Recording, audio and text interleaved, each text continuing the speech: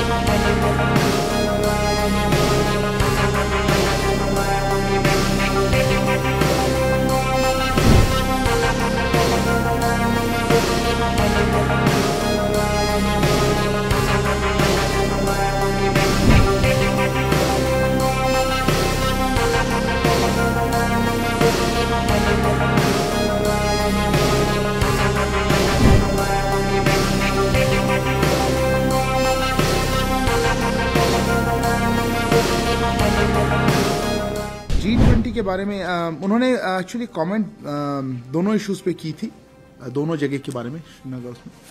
आ, ये जो G twenty के जो इवेंट्स हो रहे हैं ये जो मीटिंग्स हो रही हैं ये पूरे भारत में हो रही हैं ऑर्गेनाइज की जा रही हैं।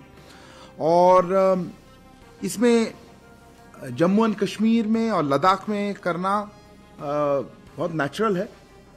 और क्योंकि ये जगह हम हमेशा से भारत के अभिन्न और अविभाज्य अंक मानते हैं और हमारे हैं। इसीलिए मैं इतना ही कहूँगा कि हर हर क्षेत्र में कर रहे हैं और ये हमारे नेचुरल रिस्पॉन्स है कि हम यही करेंगे।